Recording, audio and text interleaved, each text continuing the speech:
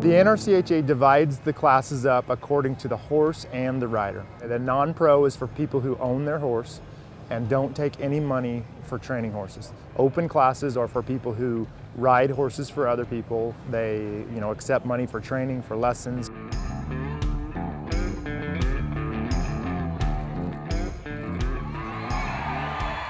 The snaffle bit is for three-year-olds. They start those horses in, as a two-year-old in a smooth snaffle, and then they show them as a three-year-old in that smooth snaffle.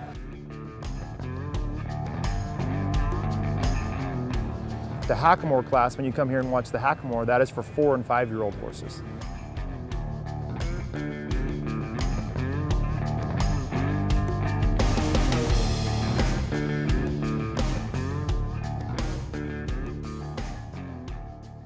The two-rein is a transitional class between the hackamore and the bridle. That two-rein class is for first-year bridle horses only. They can never have been shown down the fence in a bridle before that particular year. There's no age limit on that class. They can be anywhere from three to 20, um, but they just can't have been a bridle. That has to be their first year in the bridle. Two-rein is you have a, a pencil bosal underneath your bridle and you basically have two sets of reins. Uh, one that the horse is accustomed to, the Hackamore reins, the Bosal reins, and then the new set of reins. And gradually you make that transition from that Hackamore into that bridle.